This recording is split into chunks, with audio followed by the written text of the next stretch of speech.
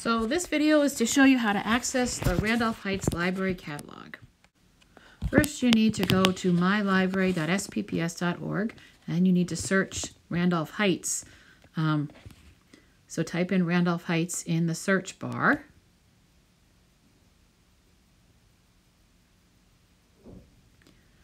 Uh, otherwise, you're searching all the libraries in the district, and that's no good because you don't have access to those books.